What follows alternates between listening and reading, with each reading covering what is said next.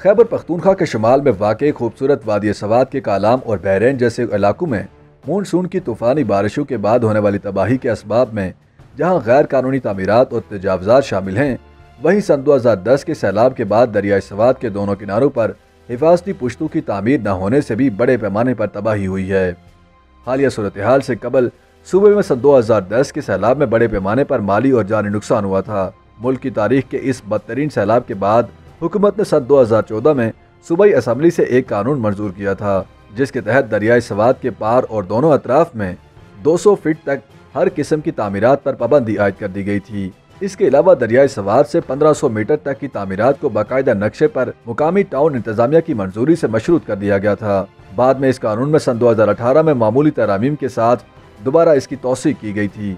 वज़ीर अजम शहबाज शरीफ ने सैलाब से मुतासर इलाकों के दौरे के मौका पर कालाम में मुकामी लोगों से खिताब भी किया और दरियाई सवाद की गुजरगा और किनारों पर तमीरत न करने की अपील करते हुए कहा कि न सिर्फ़ इसी किस्म की तमीरत को सैलाब और शदीद बारिशों से खतरा लाक होते हैं, बल्कि इससे कालाम की खूबसूरती भी मुतासर होती है।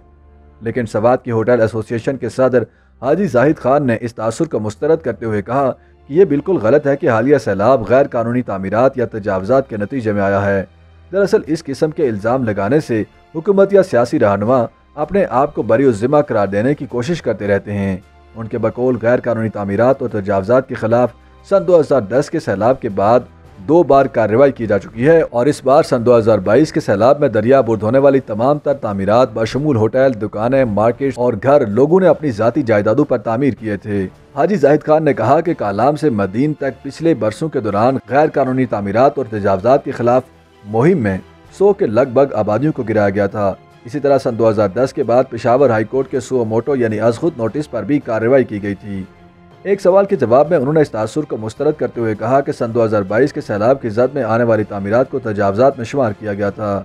उन्होंने याद दिलाया कि कालाम के होटलों और दीगर तमीरत के अलावा सबसे ज़्यादा नुकसान बहरेन में हुआ है। जहाँ के तारीखी बाज़ार की तामीर पचास और साठ के दहाई के वस्त में सबक वाली सवाद के दौरे हुकूमत में हुई थी। हुकूमत और हुकूमती इदारों पर नाकामी और बैरूनी ममालिक से मौसू होने वाली इमदाद में खुदबुद के इल्ज़ाम लगाते हुए जाहिद खान का कहना था कि मौजूदा सैलाब दो हज़ार दस के सैलाब से बहुत कम था। उनके बकौल दो हज़ार दस का सैलाबी रेला तीन लाख क्यूसिक पानी पर मुश्तमिल था। जबकि मौजूदा सैलाब सिर्फ़ एक लाख अस्सी हज़ार क्यूसिक पर मुश्तमिल था। अगर दरियाई सवाद के दोनों किनारों पर दस फीट हिफाजती दीवार तामीर की जाती तो पूरा इलाका तबाही से बच सकता था। मगर बदकिस्मती से मुल्की वसाइल तो क्या गैर मुल्की इमदाद भी सवाद को फ्राहम नहीं की गई।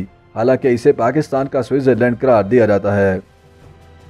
YouTube पर गूगली न्यूज़ देखने के लिए YouTube.com की सर्च बार में गूगली न्यूज़ टीवी टाइप करें। गूगली न्यूज़ के पेज पर सुर्ख रंग के सब्सक्रिप्शन वाले बटन पर क्लिक करना ना भूलिए। YouTube पेज पर अपलोड होने वाली वीडियो से बाखबर रहने के लिए बेल आइकन पर क्लिक कीजिए। आपको हर नई वीडियो के बारे में नोटिफिकेशन मौसू हो जाएगा।